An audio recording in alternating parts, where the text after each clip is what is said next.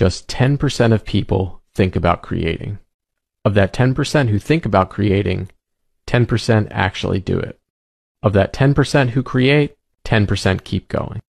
Just keep going.